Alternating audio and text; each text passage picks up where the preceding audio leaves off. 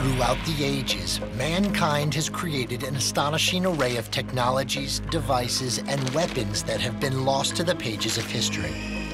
What would it be like to go back in time and experience the most ingenious inventions of the past? Fire! Our team of master craftsmen has agreed to find out.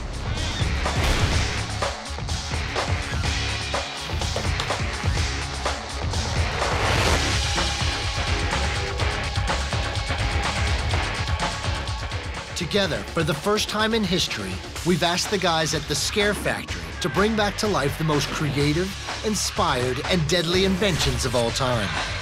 The goal is simple to relive the past by exploring, experiencing, and surviving history.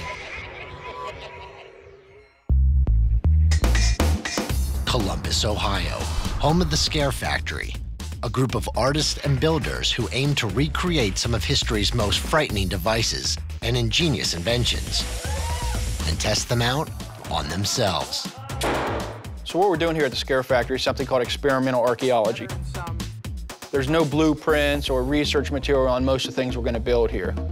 We're basically going to start from a picture or a story, and we're going to try and recreate this device with a modern twist.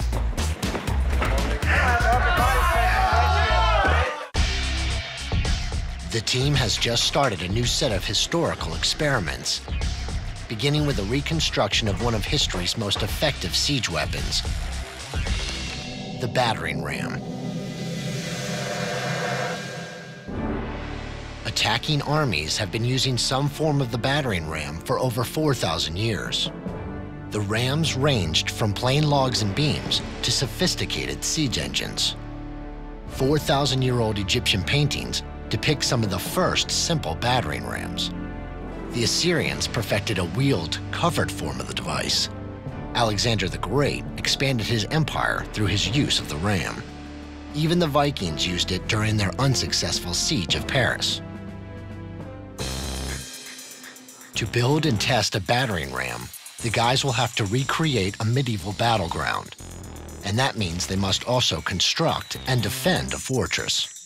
So they have divided into two teams, with Chad's Mongolian horde on offense and Eric's Team Awesome as defense.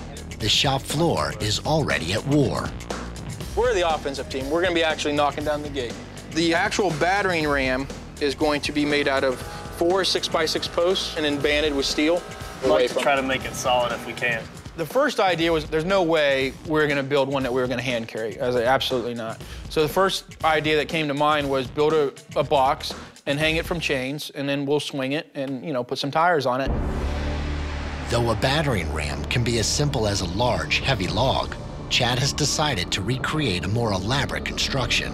His battering ram will hang within a wheeled support frame, complete with a roof and walls to protect his men from counterattacks. In ancient times, this type of siege engine featured walls made of wet animal skins to repel flaming arrows from above.